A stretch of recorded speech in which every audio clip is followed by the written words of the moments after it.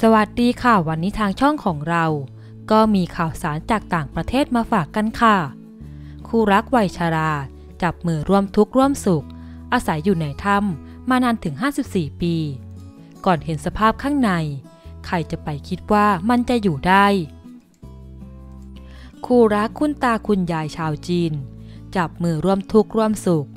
อาศัยอยู่ด้วยกันภายในถ้ำมาด้วยกันนานถึง 54 ปี และยืนยัน ที่จะอยู่ต่อไป ไม่ย้ายออกไปไหน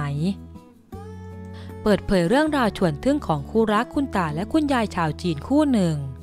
โดยคุณตามีชื่อว่า เหลียงจื่อฟู่อายุ 81 ปี ได้แต่งงานอยู่กินกับคุณยายหลี ชื่อหญิง วัย 77 ปี ภายในถ้ำแห่งหนึ่งในเขตหนานซงมณฑลเสฉวน ทางตะวันตกเฉียงใต้ของประเทศจีน มาเป็นเวลาเนิ่นนานเกินกว่าครึ่งชีวิตด้วยกัน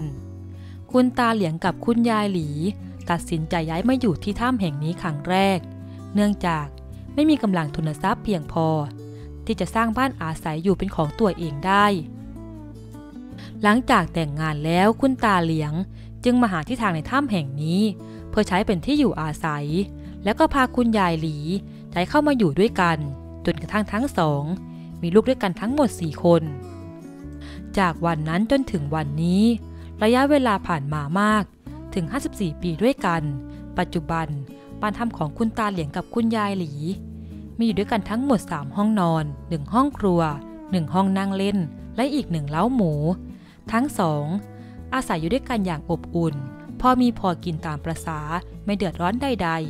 ๆ ทั้งนี้ทางเจ้าหน้าที่ท้องถิ่น ได้พยายามชักชวนให้คุณตาเหลียงกับคุณยายหลีได้ออกจากถ้ำ ไปอยู่ในที่ที่สะดวกสบายกว่านั้น แต่ทั้งสองก็ปฏิเสธ และยืนยันจะอยู่ในบ้านถ้ำแห่งนี้ โดยบอกว่าที่อยู่ตอนนี้ก็พอใจแล้ว ในฤดูร้อนข้างในก็เย็นสบาย ส่วนฤดูหนาวข้างในก็อบอุ่นดี ขอขอบคุณข้อมูล piximat.net คุณผู้ชม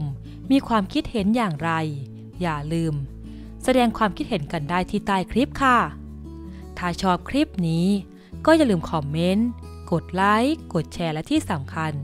อย่าลืมกดติดตามให้ด้วยค่ะ เอาไว้เจอกันใหม่ในคลิปหน้าสำหรับคลิปนี้สวัสดีค่ะ